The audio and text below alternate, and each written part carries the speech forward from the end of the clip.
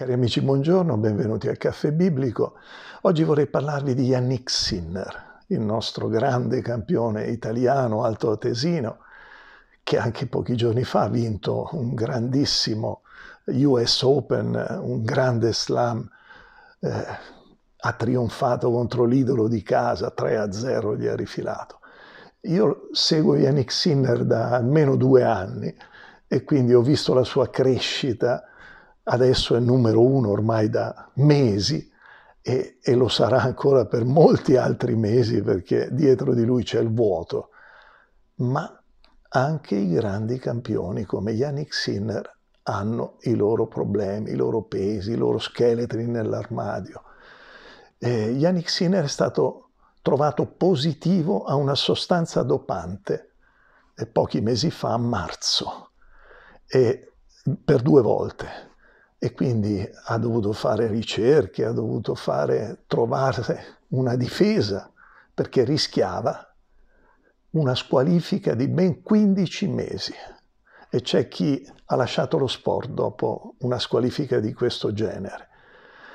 15 mesi, nel, proprio nel massimo della sua ascesa, sarebbe stato micidiale per chiunque.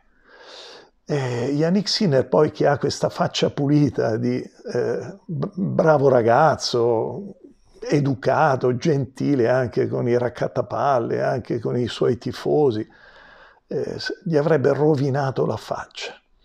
E lui ha giocato gli ultimi tornei con questo peso, con questa spada di Damocle. Adesso mi arriva la, la multa, adesso mi arriva il giudizio ha fatto ricorso, ma non sapeva se sarebbe stato accettato.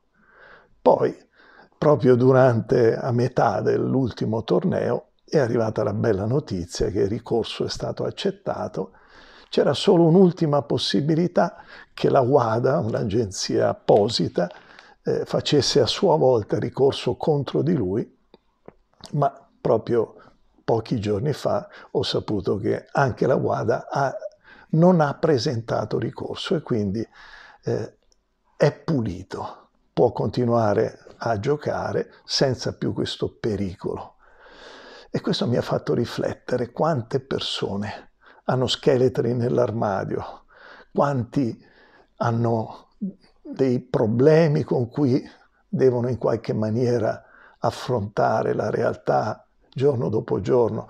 Yannick Sinner ha dichiarato, sembro tranquillo all'esterno, ma dentro c'è una tempesta in corso. A volte devi giocare con la poker face, cioè con la faccia del giocatore di poker che non deve far vedere le sue emozioni, non deve scoprire quello che ha in mano. Quanti purtroppo vivono così.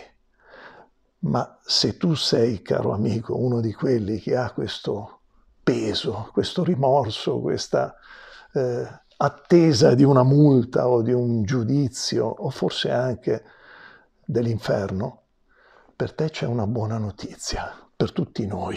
Ve la voglio leggere dal Nuovo Testamento. Non c'è dunque più nessuna condanna per quelli che sono in Cristo Gesù. Non dice per quelli che sono buoni, se no molti di noi siamo tagliati fuori. Non dice per quelli che sono in quella o quell'altra religione ma per quelli che sono in Cristo Gesù, per quelli che hanno questo rapporto personale. E perché? Perché chi è in Cristo è pulito, perché Gesù ha pagato al posto nostro, perché Gesù ha pagato sulla croce il nostro debito e ci ha pulito da ogni condanna, da ogni giudizio. Questa è la buona notizia di oggi. Dio ti benedica, caro amico.